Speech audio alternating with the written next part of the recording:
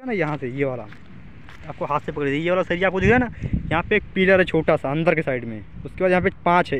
यहाँ पे एक, वहाँ दो, फिर तीन, फिर चार, फिर पाँच। हे गाइस तो जय Hind.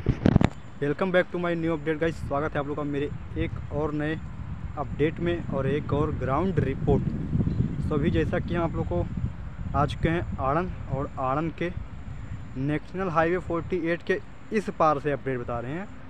इसके जो पहले वाली वीडियो आएगी वो उस पार से बताए थे, बट अभी का जो अपडेट है वो इस पार से है। इस पार मैं आप लोगों को दिखाने वाला हूँ।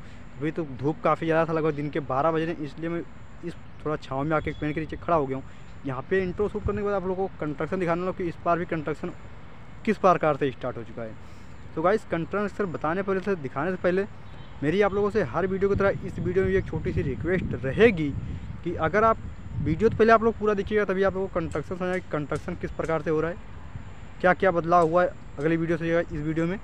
और उससे उसके बाद अगर आप लोग वीडियो अच्छी लगे तो आप वीडियो लाइक कर देना।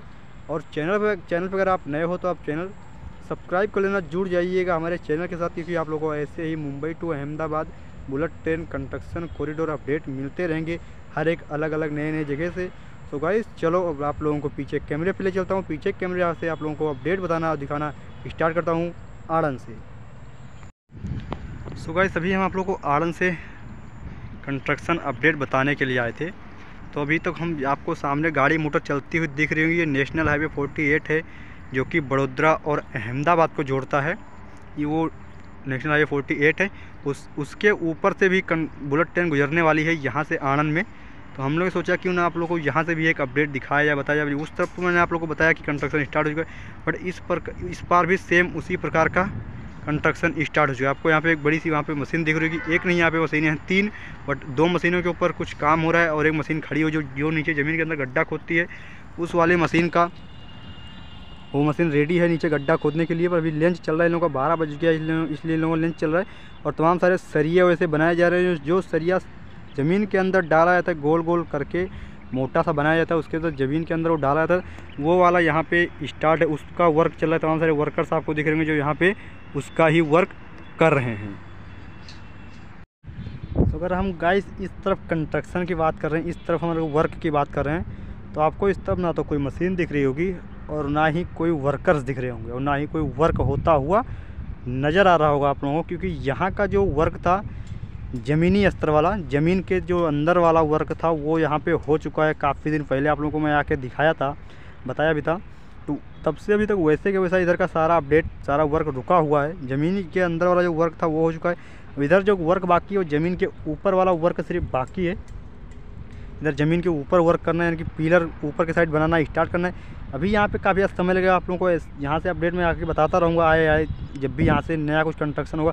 मैं इस, इन सब सारे अपडेटों पे लगातार नज़र बनाए रहता हूँ कि कहाँ पे कितना सारा अपडेट हो चुका मैप के ज़रिए मैं देखता रहता हूँ वीडियो भी सबकी देखता हूँ कि कहाँ पे कितना सारा अपडेट हो चुका है। तो यहाँ पर जो इस तरफ़ बात की जाए, कुछ नहीं है। पर अगर हम इस कैमरा अगर यहाँ से घुमा के हम इस तरफ़ कर दें तो ज़मीनी, ज़मीन के अंदर वाला जो वर्क था, वो इस तरफ़ हो रहा है अभी। जैसे कि यहाँ पर आप देख सकते हो कि पाँच, मैंने आपको हर वीडियो में दिखाया कि पाँच पिलर नीचे ज़मीन के अंदर डाले हैं पतले पतले। उसके उन पाँचों के ऊपर एक नींव बनाया जाता है। नींव के ऊपर फिर तलिया बनाया जाता है। फिर तलिया के ऊपर पिलर बनाते हैं। तो वो वाला वर्क यहाँ तक हो चुका है। इसके आगे उधर आपको दिख रहा होगा मशीन दिख रही होगी आप लोगों को। नेशनल हाईवे फोर्टी एट सड़क के इस पार वर्क हो रहा है कुछ इस प्रकार से यहाँ पे। क्योंकि आगे वर्क के लोग बंद करके चले गए। बरसात काफ़ी ज़्यादा हो रहा था, लेवा कीचा काफ़ी ज़्यादा और सड़क सड़क चालू नहीं था। यहाँ जो इनका रास्ता था, ये रास्ता बंद हो चुका था। तो ये सब यहाँ का अपडेट जो था, काफ़ी ज़्यादा मुश्किल भरा हो गया था तो इसलिए वो तब वर्क छोड़ के चले गए थे, क्योंकि मशीनें भी इनके अच्छे से काम नहीं करती। अभी यहाँ का वर्क वापस से स्टार्ट हो गया। जैसे जैसे यहाँ का आगे का वर्क इधर का भी और इधर का भी होता रहेगा, आप लोगों को बताता रहूँगा, दिखाता रहूँगा। तो अभी जो है वो यही है यहाँ का ग्राउंड रिपोर्ट जो भी यहाँ का है, वही है। यहाँ के जो वर्कर्स हैं वो पिलर बनाने का वर्क कर रहे हैं। जो जो सरिया बनाया जाता है, गोल गोल सरिया बांधा जाता है, वो बनाए, बना रहे हैं, वो लोग बाँध रहे हैं। वो वर्क चालू है और हम आपको यहाँ का पहले वर्क दिखा दें। मैं आपकी किसके बारे में आके बात मैं कर रहा हूँ, आप लोगों को शायद, आप लोग सोच रहे हो कि किसके बारे में बात कर रहे हैं। ये वाला सरिया आपको दिख रहा है ना? ये पाँच है यहाँ पे। इस प्रकार से यहाँ पे वर्क हो रहा है बुलेट ट्रेन का। और इस तरफ़ भी सेम उसी प्रकार से वर्क होगा। आगे जैसे हो रहा है, वैसे आगे सेम उसी प्रकार से वर्क होगा इस तरफ़। है गाइस तो अब जैसा कि आज हम आप लोगों को बुलेट ट्रेन का कंस्ट्रक्शन अपडेट दिखाने के लिए आड़न आए हुए थे। और आड़न से आप लोगों को ग्राउंड रिपोर्ट दिखाए हैं आप लोगों को वीडियो में देख, देखा ही होगा आप लोगों ने वीडियो में किस प्रकार से यहाँ पे वर्क चालू है क्या क्या वर्क हो रहा है पिलर किस प्रकार से बन रहे हैं बुलेट ट्रेन के national highway speed rail corridor के किस प्रकार से वर्क हो रहे हैं।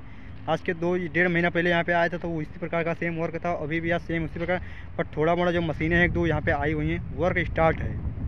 ऐसी बात नहीं कि बिल्कुल वर्क नहीं स्टार्ट है। सो गाइस दोपहर के लगभग बच्चों के साढ़े बारह मुझे थोड़ा करना पड़ेगा कहीं आराम। तब तक के लिए वीडियो से लेंगे विदा। मिलेंगे आपसे नेक्स्ट वीडियो में कहीं अलग से। तब तक के लिए जय हिंद, जय भारत, वंदे मातरम गाइस। वीडियो आपको अगर अच्छी लगे तो वीडियो लाइक कर देना, चैनल पर नया चैनल सब्सक्राइब कर लेना। मिलते हैं नेक्स्ट वीडियो में।